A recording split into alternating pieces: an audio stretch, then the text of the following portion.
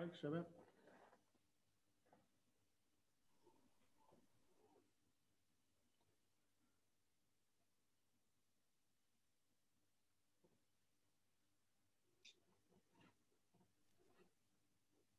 السلام عليكم ورحمة الله وبركاته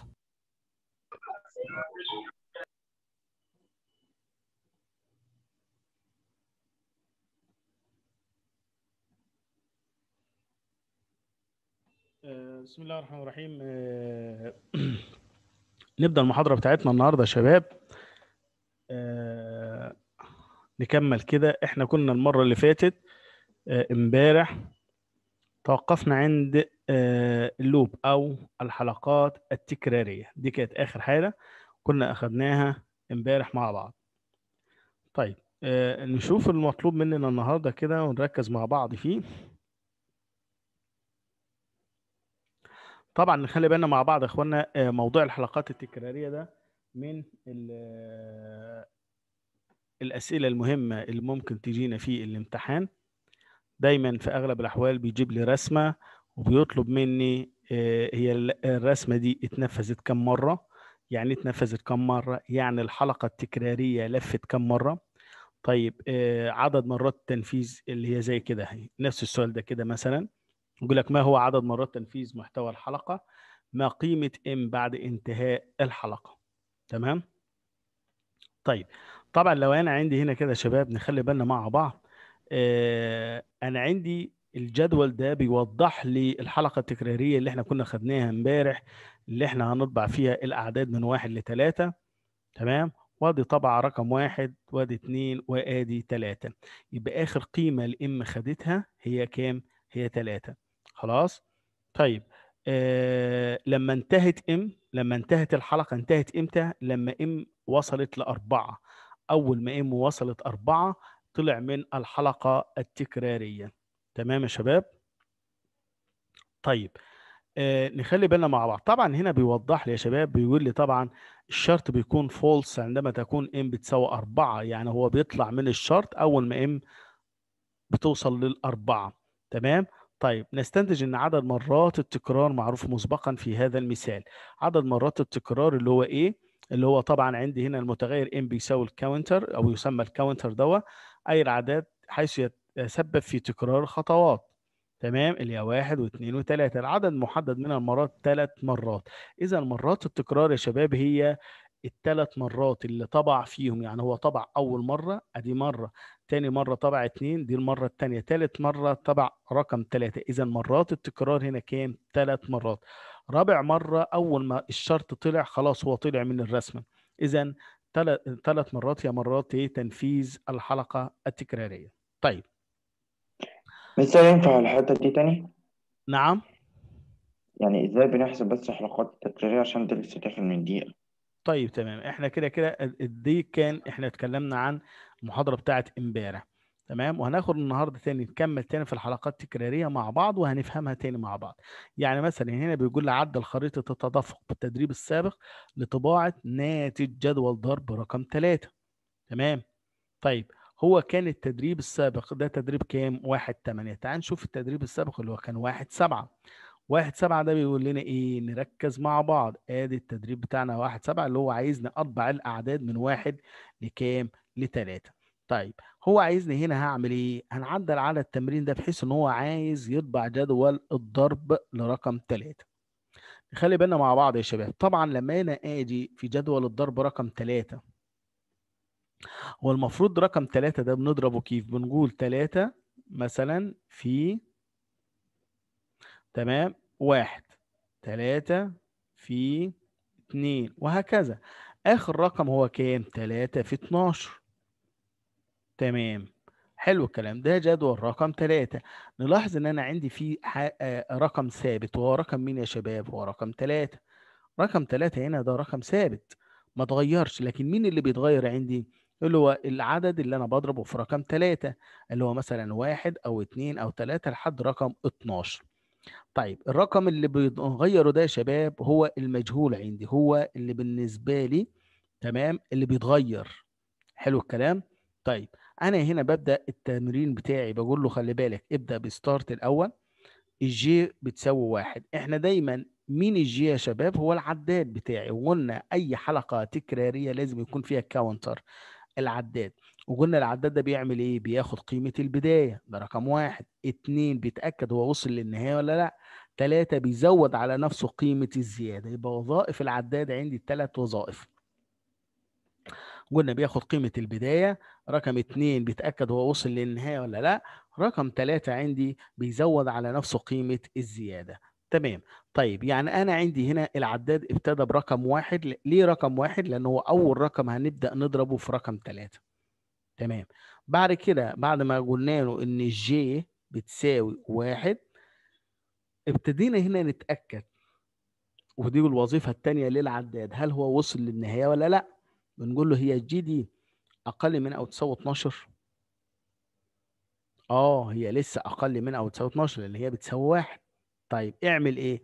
print J ضرب التلاتة. يعني اط- اطبع لي كده كلمة تلاتة. في ال J ال J بكام؟ بواحد. روح هيطبع لي أول حاجة كده. هو مش هيطلع لك الناتج ركز معايا. هو مش هيطلع الناتج. هو هيكتب بس تلاتة في واحد. لكن ما كتبلكش يساوي تلاتة. تلاتة في اتنين يساوي ستة. هو مش هيطلع النواتج هو هيكتب له بس جدول الضرب فقط لا غير. طيب.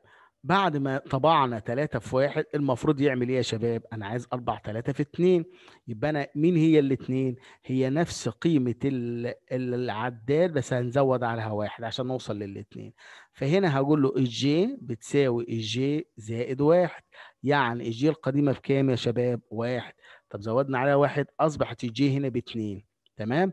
فيطلع هنا بقى يسأل نفس السؤال طب هي ال J دي أقل منها وتساوي ال 12 أيوه طبعا لأن هي لسه باتنين. تمام. راح يعمل إيه؟ ها يطبع لي 3 في 2 تمام. يفضل يكرر الموضوع ده يا شباب لحد ما يوصل ل 3 في 12 أول ما يوصل ل 12 ونزود واحد أصبحت ال 12 عندي كام؟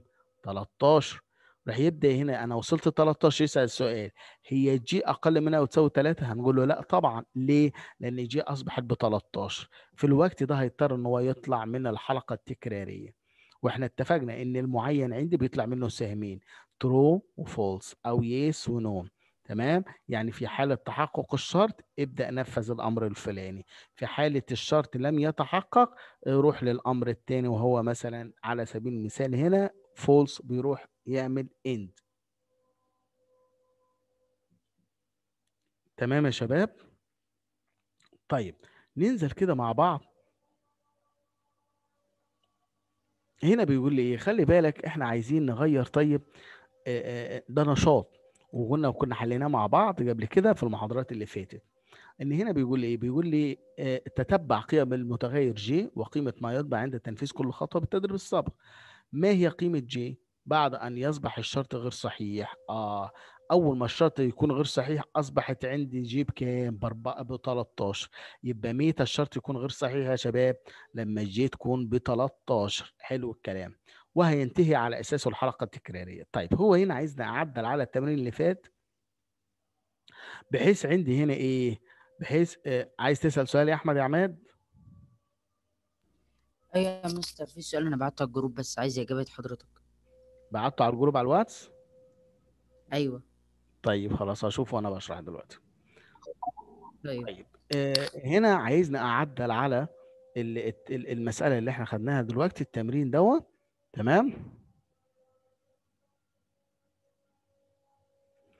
أنا بشوف تمام. بس مسألتك. آه المسألة اللي أنت اللي هي مكتوبة بخط اليد دي يا أحمد صح؟ أيوه أيوه يا مستر. ماشي خلاص أوكي.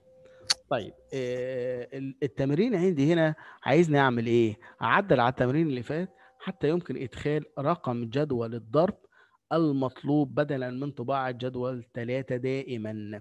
لأن التمرين اللي فات اللي إحنا توتنا شارحينه ده هيعمل إيه؟ هيطبع لي جدول رقم ثلاثة بس. طب لأ أنا عايز لو المستخدم كتب له أربعة يبقى يدخل جدول أربعة. لو دخل خمسة يبقى خمسة. ستة يبقى ستة. حلو. ما يبقاش الرسمة لجدول واحد فقط. نعمل إيه؟ ادي التمرين ده إحنا أخدناه. هنعمل حاجة بسيطة جدا. الأول كان جدول ثلاثة فهو شيء معلوم خلاص إحنا عرفنا ثلاثة والكاونتر العداد بيعد اللي هي 3 في 1 و3 في 2 لحد ما يوصل ل 3 في 12 طيب لا أنا هنا عايز أعمل له إيه؟ أقول له أدخل مثلا enter N مين هي N يا مستر محمد؟ هقول لك N ببساطة جدا هي الجدول بتاعي. يعني لو أنا كتبت له N دي بتساوي أربعة يبقى هيطلع لي جدول رقم أربعة. قلت له N دي بتساوي خمسة يبقى هيكون جدول خمسة. حلو الكلام؟ كلام جميل. طيب يبقى الحتة الزيادة بس أنا قلت له في البداية إيه enter N. J بتساوي واحد ده العداد. ونفس الكلام هي J أقل منها وتساوي 12 ولا لأ؟ yes اطبع إيه بقى؟ هنا الاختلاف. يبقى الاختلاف أصبح في الحتة دي وفي الحتة دي.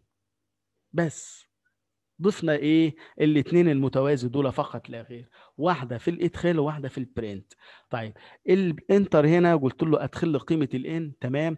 ونفذنا. جينا هنا لو هو فعلا هنطبع الأول كنا بنطبع نقول له 3 في N صح؟ لا المرة دي J آه، J في N أو 3 في كذا على حسب الرسمة اللي إحنا كنا واخدينها فوق هي. تمام؟ هنرجع لها تاني اللي هي J في 3 طيب ال J اللي هي ال cou... ال counter اللي هو العداد اللي هو واحد واثنين وثلاثه لا أنا هنا هشيل رقم ثلاثة ونحط مكانها إيه؟ N اللي هي المفروض هندخل قيمتها فين فوق. يعني لو المستخدم أول ما فتح البرنامج بعد كده قال له أدخل الرقم آه، اللي أنت عايزه فدخل رقم تسعة هيجي هنا هيبقى J في تسعة. هيبقى كده جدول ضرب كام؟ جدول ضرب رقم تسعة. تمام؟ وهكذا. يبقى هم دول بس التعديلين اللي إحنا عملناهم. enter N وهنا بدل ما نقول له 3 في J لا هنقول له N في J يبقى شلنا الثلاثه حطينا مكانها مين؟ N. ما ينفعش تحط له وتسكت لازم الأول تكون فوق كاتب له إيه؟ انتر إن. خلاص يا شباب واضحة؟ طيب نبص لتحت ننزل سنة شوية مع بعض. طبعا هنا فاكرين المثال اللي هو بتاع الأعداد الزوجية؟ إحنا كنا طبعا الأعداد من واحد لثلاثه وقلنا طب لو أنا عايز الأعداد الزوجية آه، الزوجية دي يعني المفروض تبدأ من كام؟ ها من اتنين يبقى بدل ما أنا هبدأ من واحد هبدأ من اتنين والزيادة بدل ما هي واحد هنزود اتنين ودي كنا شرحناها امبارح في نهاية إيه؟ المحاضرة بتاعتنا. طيب أي نفس الكلام ده. طيب نخلي بالنا مع بعض. هنا بقى الوضع مختلف. هنا عايز مجموع الأعداد الصحيحة من واحد إلى ثلاثة مجموع الأعداد الصحيحة من واحد إلى كام؟ إلى ثلاثة أيوة. في حد عايز يسأل؟ طيب نكمل مع بعض. آه، في حد بعت لي آه، اختبار. ماشي. دي هنجمع الاختبارات دي يا شباب. أي حد عنده اختبارات تحصل عليها يبعتها لنا. تمام؟ هو الاختبار ده مكتوب لعام الدراسة 2021 ده بتاع قطر آه. نعم. بتاع قطر دوت. تمام. بعد طيب ما فيش مشكلة. إحنا أي حد عنده مجموعة من الاختبارات يتحصل عليها يبعتها لنا في الجروب وإحنا هنحلها مع بعض إن شاء الله. تمام يا شباب؟ أدي المسألة. تمام.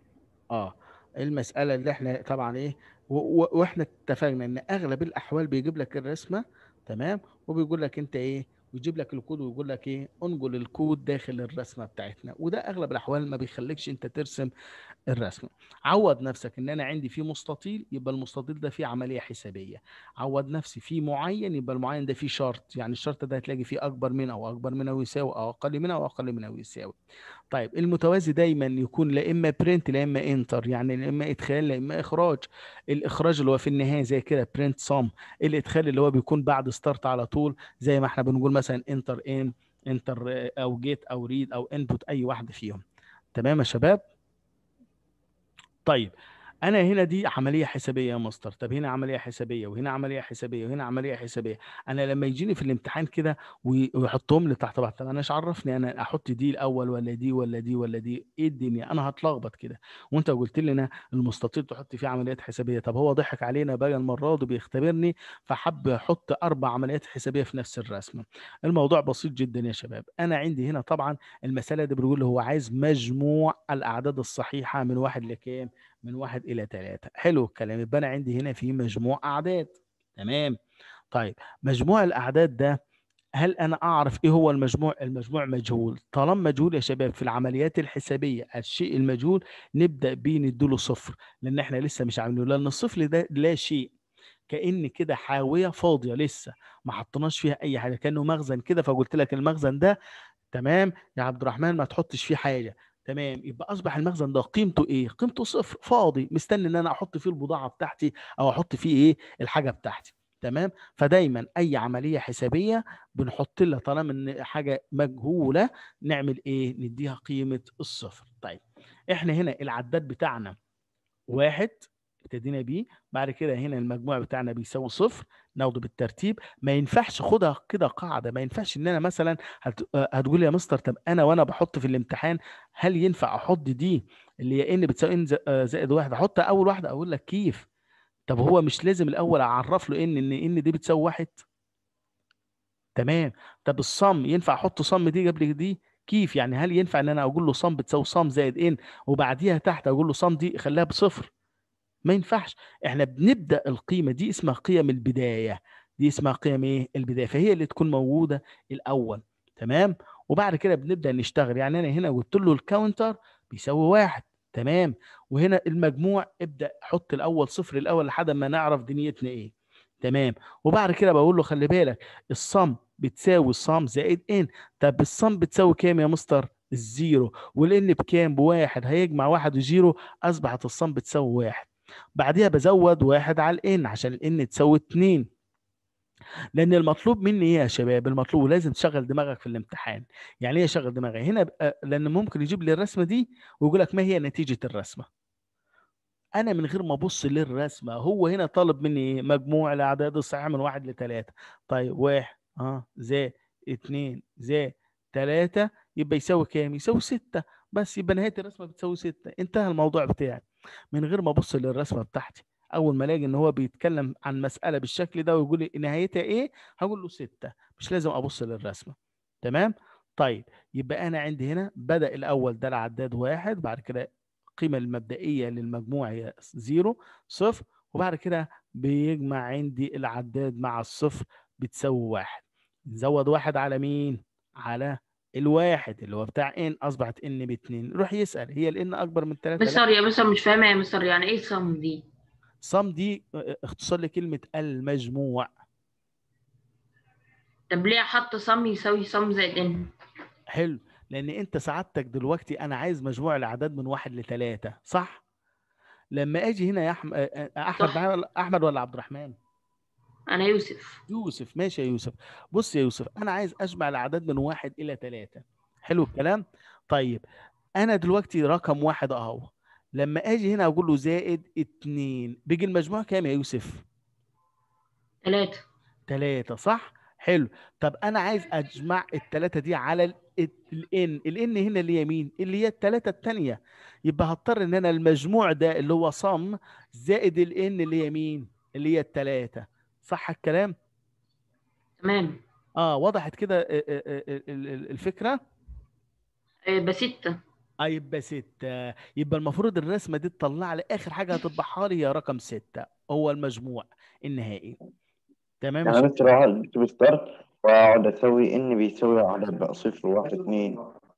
نعم. يعني أنا مثلا اقعد اكتب start واقعد اجاوب N بيساوي صفر وبعدين نعمل sum بيساوي صفر وبعدين N بيساوي لا ما ينفعش نخلي N بتساوي صفر لأن إحنا N ده العداد. العداد ده لازم ياخد قيمة البداية. طب هو المسألة بتطلب منك إيه؟ طباعة الأعداد من واحد فقيمة البداية هنا كام؟ واحد. اذا إن نفسها اللي هي العداد ما ينفعش أقول له صفر. الان تبدأ بقيمة البداية اللي هي مين اللي هي واحد عندي. لكن المجموع هو اللي ياخد صفر. ليه؟ لأن أنا في البداية مش جامع حاجة. زي أنا سعادتك كده هقول لك على حاجة. مين معايا؟ اسمك إيه؟ ها؟ أحمد فوزي يا مستر. أحمد. بص يا أحمد أنا دلوقتي معايا 10 تفاحات ومعانا صندوق تمام؟ فبقول لك إيه؟ الصندوق حاليا فاضي. اذا مجموع التفاح اللي جوه الصندوق ده بيساوي إيه؟ صفر. لكن أول ما أحط فيه تفاحة أصبح المجموع بيساوي كام؟ ها واحد. طب حطينا تفاحة. تاني. التفاحة الثانية دي. جمعناها على المجموع الأولاني اللي هو كان فيه تفاحة. فتفاحة وتفاحه أصبح تفاحتين. أصبح المجموع في الصندوق بتاعنا كام؟ اتنين. يبقى هو ده اللي إحنا. بنعمله. اللي هو المجموع زائد العداد. زائد زي كده مجموع التفاحات اللي في الصندوق زائد التفاح اللي أنا ببدأ أضيفه على الصندوق. فيبدأ المجموع بيتغير معايا. أصبح الصندوق في التفاحتين يبقى مجموع التفاحات اللي في الصندوق كام؟ اتنين. طب ضفنا عليه واحدة تاني يبقى قلنا تفاحة زائد المجموع القديم اللي هو تفاحتين أصبح مجموع التفاحات ثلاث تفاحات. نفس الفكرة هي دي المسألة اللي قدام عينينا. تمام؟ يبقى المجموع الأول هو اللي بديله صفر في البداية لأن لسه الصندوق ما حطيتش فيه التفاح. ففاضي. فلو قلت لك مجموع التفاحات يا يا أحمد في اللي في الصندوق كام؟ هتبص في الصندوق مفيش هتقول له صفر. ليه صفر. لأن أنت لسه ما حطيتش يا مستر فيه أي تفاح. صح؟ لكن العداد لما نيجي نبدأ ينفع أقول لك ابدأ أول تفاحة هي صفر؟ طب كيف يا مستر؟ أول تفاحة دي هي تفاحة فتاخد قيمة واحد لأن هي شيء خلاص معلوم. لكن الصفر ده لا شيء هوا فاضي مفيش أي ملوش قيمة. تمام؟ فعشان كده إحنا خدنا هنا قيمة العداد دايما. تمام مستر. آه كده وضحت أي حاجة عندك في الامتحان طالما إن هو بيقول لك من إلى طباعة الأعداد من واحد لعشر يبقى هنا في عداد. حلو. طباعة اسمك عشر مرات يبقى هنا في عداد. آه، طباعة إيه؟ كلمة تحيا مصر ست مرات يبقى هنا في عداد.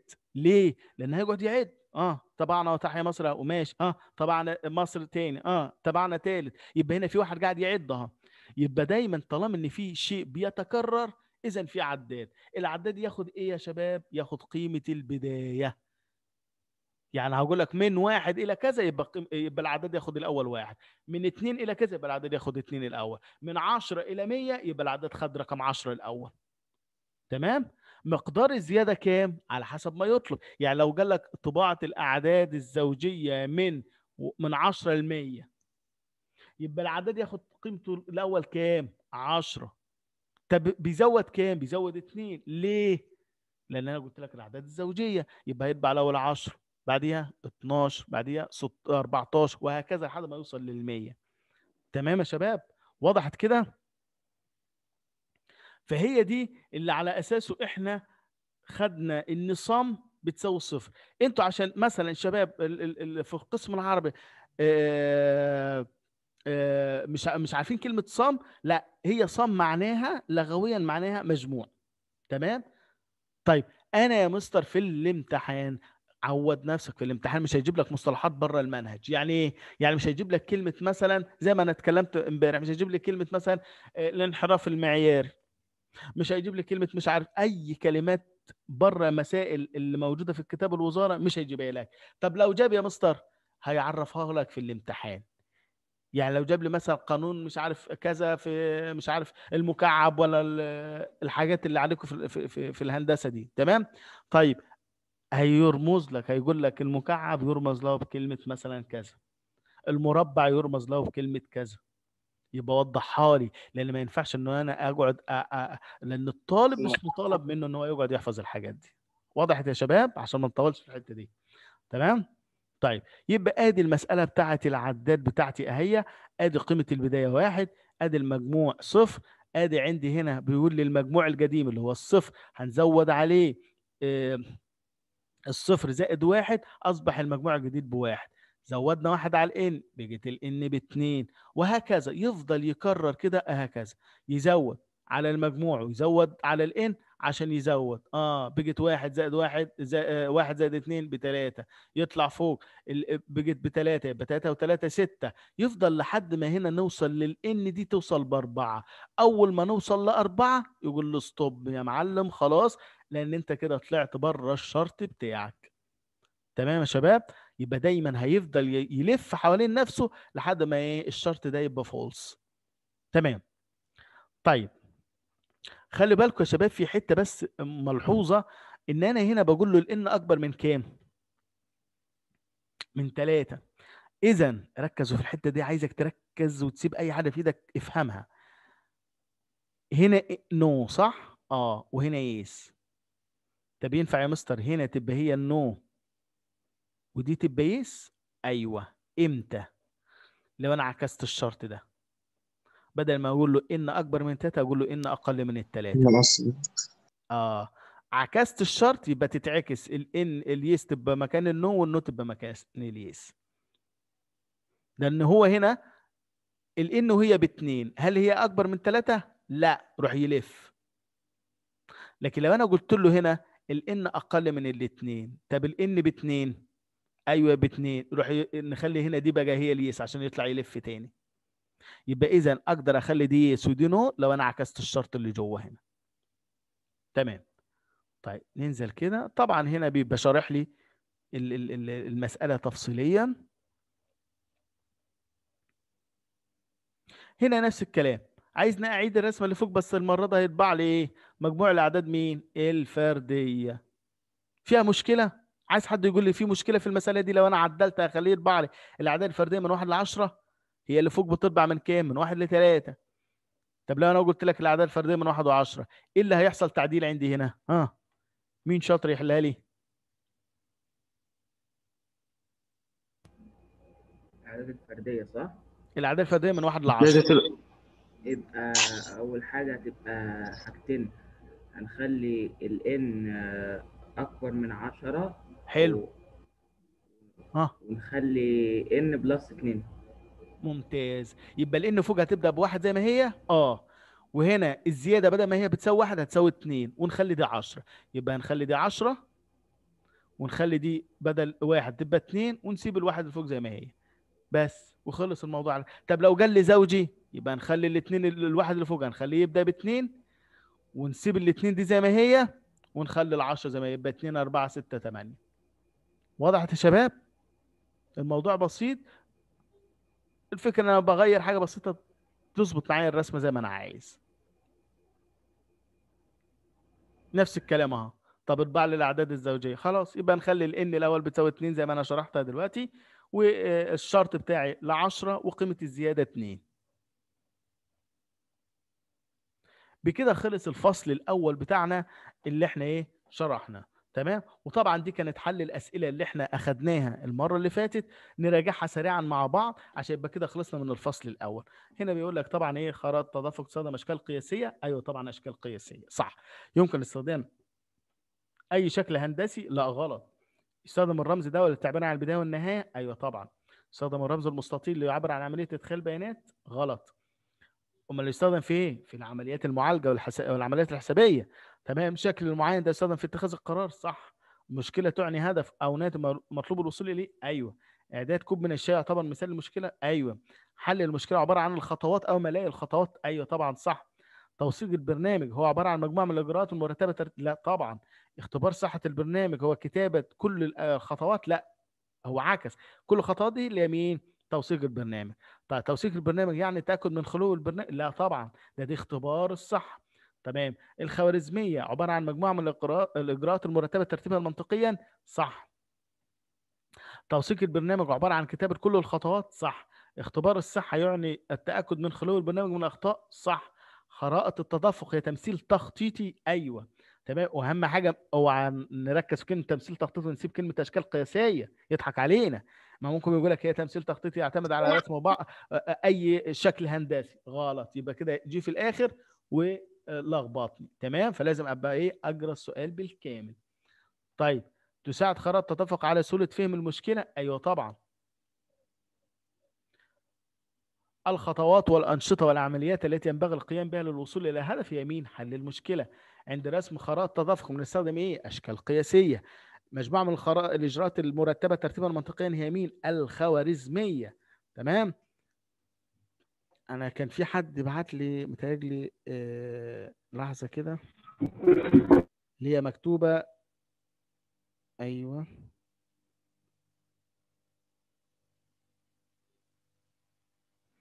تمام.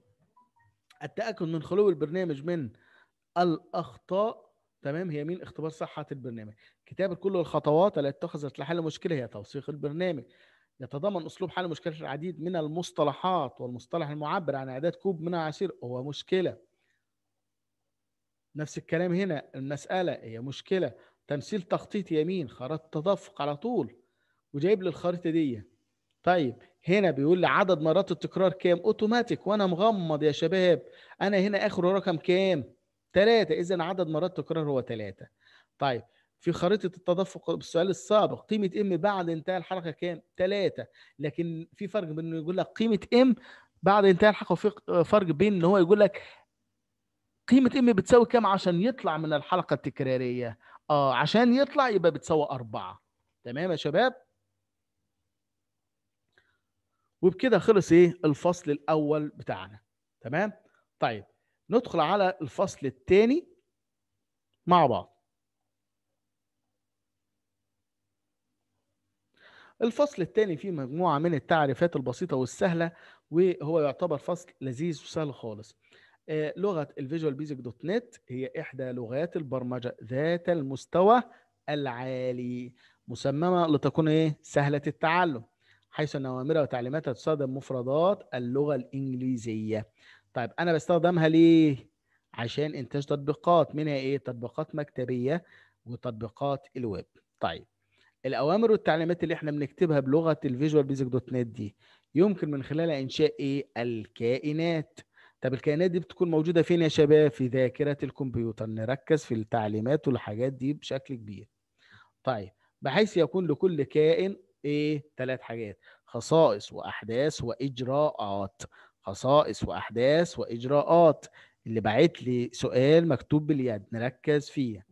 طيب الخصائص اللي هي زي مين يا مستر؟ زي الحجم واللون وشكل الخط. تمام. الأحداث زي حدث النقر أو أو مثلا يعني خلينا نبدأ بحدث النقر على زرار مثلا زي زرار الأمر. دي الأحداث. الإجراءات. هي إيه يحتوي كل منها على أوامر وتعليمات تنفذ تلك الأوامر والتعليمات عندما يستدعى هذا الإجراء. يبقى اذا ما هو تعريف الإجراء؟ هي مجموعة من الأوامر والتعليمات بننفذها لما أنا أبقى عايز أنفذها عندما أريد ذلك. تمام؟ طيب حلو الكلام. يبقى ده تعريف إيه؟ الإجراءات. يبقى أنا عندي هنا اللي باعت لي اللي باعت لي أحمد عماد بيقول لي مجموعة الأوامر والتعليمات التي ترغب في تنفيذها يطلق عليها إيه؟ إجراءات؟ أيوه طبعا صح. أهي دي أول حاجة لسه واخدينها أهي. الإجراءات هي مجموعة من الأوامر والتعليمات تنفذ تلك الأوامر والتعليمات عندما يستدعى. طب متى أنا أستدعيها لما أنا اللي أرغب في ذلك؟ أكتب الكود في الوقت اللي أنا عايزه أستدعيه فيبدأ ينفذ الأوامر والتعليمات دي. وضحت يا أحمد يا عماد؟ تمام يا مستر تمام. تمام. طيب بناء على ما سبق آه إن لغة ال Visual Basic .NET يا رجالة هي كائنية التوجه. يعني إيه يا مستر كائنية؟ يعني أنا بستخدم فيها كائنات. والكائنات دي اللي إحنا لو نفتكر ساعة لما شرحت لكم المرة اللي فاتت مش المحاضرة اللي فاتت لأ في بداية الموضوع تمام لما فتحنا البرنامج ولقينا الزراير وال... دي اسمها كائنات. طيب لأن برامجها تعمل من خلال كائنات والكائنات دي تخزن فين؟ نركز في الكلمة دي. الكائنات تخزن فين؟ في ذاكرة الكمبيوتر. أوكي. طيب. كمان هي لغة موجهة بالحدث. أيوه. ليه؟ لأن الأوامر والتعليمات تنفذ عند وقوع حدث معين. لأن الأمر مش هيتنفذ من دماغه. مش أعمل له كده بإيدي أقول له اتنفذ اتنفذ. لا. لازم في شرط معين هيحصل عشان يعني مثلا أضغط على زرار فيبدأ ينفذ. أفتح النافذة البرنامج فيبدأ ينفذ. أحرك مش فيبدأ فاذا في حدث معين هيحصل عشان الأمر يتنفذ عشان كده هي تسمى موجهة بالحدث. كائنات التوجه أيوه. ليه؟ لأنها بتعتمد على استخدام الكائنات التي تخزن في ذاكرة الكمبيوتر. أوكي؟ طيب ده كله إحنا بنتكلم على مين يا رجالة؟ على Visual Basic .NET نركز نركز. Visual Basic .NET تمام. لغة ال Visual Basic .NET وإطار .NET Framework لازم نركز عشان ما نتلخبطش في المصطلحات دي. تمام. يوفر إطار العمل اللي هو مين؟ .NET Framework يوفر إطار العمل يبقى ال .NET Framework هو اللي هيوفر مش ال Visual Basic آه إطار العمل ده بيوفر لي بيوفر المكتبات بيوفر بيئة التشغيل بيوفر المترجمات. الثلاث حاجات دول. مين اللي بيوفرهم يا رجالة؟ ال .NET Framework أو بالعربي لو جت بالعربي ماشي خير وبركة. جت English يحق لي إن هو يحطها لك English لأن هي موجودة عندك في الكتاب بال English. تمام؟ تمام. بيوفر لي المكتبات. إيه هي المكتبات يا مستر؟ هي التي يتم من خلالها إنشاء الكائنات. طيب إيه تاني؟ بيئة التشغيل. بيوفر لي بيئة التشغيل. تمام. طيب إيه هي بيئة التشغيل؟ معانا خمس دقائق بالظبط وهنخلص يا رجالة. طيب بيئة التشغيل إيه؟ بيئة التشغيل دي هي تسمى ال runtime. تمام؟ وهي اللي بتعمل فيها التطبيقات المنتجة بلغة ال Visual Basic .NET. المترجمات هي التي تترجم الأوامر والتعليمات من اسمها مترجمة. تترجم الاوامر والتعليمات بلغة إيه يا رجالة؟ بلغة الآلة. أركز في الحتت دي. طيب لغة ال Visual Basic .NET وال IDE. طيب ال IDE دي يقصد بها إيه؟ بيئة التطوير المتكاملة. هي ال ID اختصار لكلمة integrated development environment. أوكي؟ طيب بتوفر للمبرمج أدوات وميزات تمكنه من إنشاء تطبيقات ال Windows والذي يمثلها ما يطلق عليه Visual Studio إذا ال Visual Studio أو بيئه التطوير بيئه التطوير دي تمام؟ هي اللي بتوفر لي الأدوات والمميزات. متمثلة في مين؟ في ال Visual Studio متمثلة في مين. Visual Studio أيوه. آه، هو إحنا مستر نحفظ التعريفات دي كلها ولا بس آه يا نحفظها رجالة كأنها آه دي اختيارات نحفظ يعني؟ التعريفات دي اللي عايز يقفل الدرجة كاملة يحفظ. اللي عايز يدخل عشان ينجح فقط تمام؟ ومش عايز درجة كاملة فيها يبقى إيه؟ بيعتمد على إن هو بعض الحاجات زي الرسومات والحاجات زي كده وحل الامتحانات. طيب نركز مع بعض.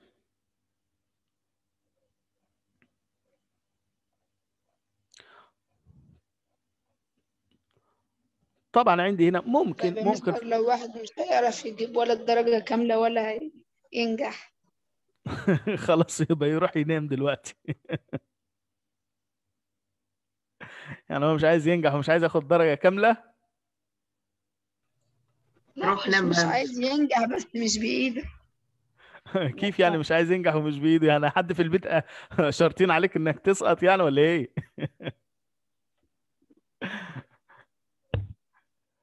طيب نخلي بالنا مع بعض.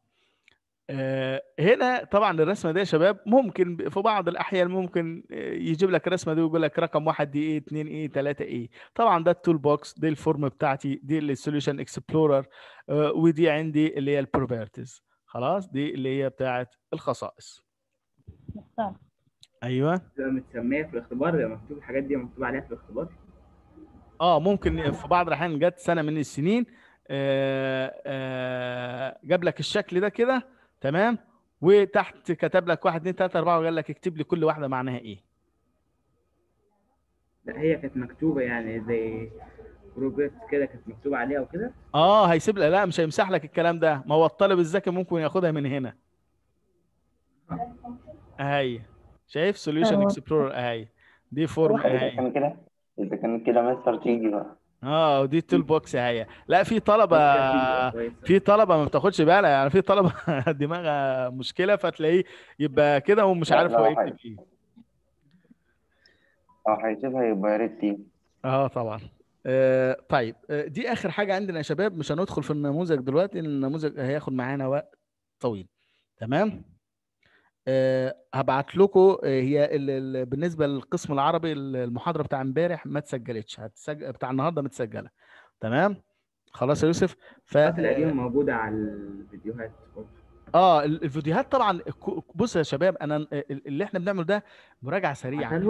آه إحنا شرحنا الكلام ده تفصيليا في الفيديوهات اللي, اللي إحنا كنا عملناها قبل كده. وأنا ببعت لكم لو لو حد لسه عنده الروابط بتاع الفيديوهات يا ريت إيه يبعتها تاني في ال group. لو ما كانش كده أنا ببعتها لكم النهارده ان شاء الله. أنا عندي يا مستر. طيب تمام. ابعتها تاني في ال group بحيث ان هو لو حد ما كانش حضر معانا أو اول مرة يحضر أو عايز يراجعها يبقى يدخل عليها تاني. تمام يا شباب؟ هنكتفي بكده وميعادنا إن شاء الله بإذن الله تعالى في المحاضرة الجاية إن شاء الله آه، اللي هي بكرة بإذن الله نكمل مع بعض. لا مش هنسقط إن شاء الله يا مازن. آه، هنروح فين؟ هنروح مارينا طبعا. نروح نصيف تمام يا شباب. آه، إن شاء الله بإذن الله تعالى آه، نبدأ بكرة بإذن الله مع بعض إن شاء الله. السلام عليكم.